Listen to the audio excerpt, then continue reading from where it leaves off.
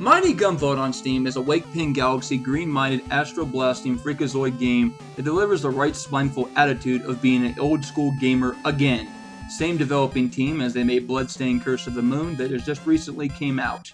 As a top-knot bullet line of action mixed in with great channeling boss patterns and flowing out designs that collect the main formula from the old Mega Man Tune games.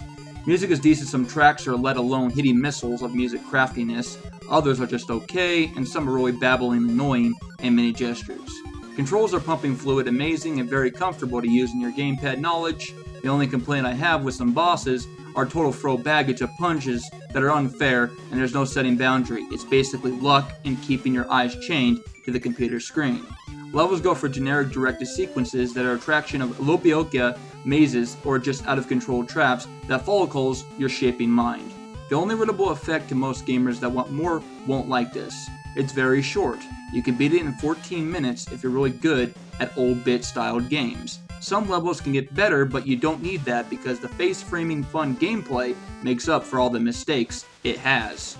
A natural curl that is a better predecessor than Mighty Number no. 9 by a long, steady bow shot. I can't say anymore but to play this no snag elastic garbage. It's very terrific and fascinating parts, and I really recommend this. I give this game a 9.8 slash 10, and you also get three playable characters to replay the small, tiny gemstone masterpiece. Love the Burrito Master.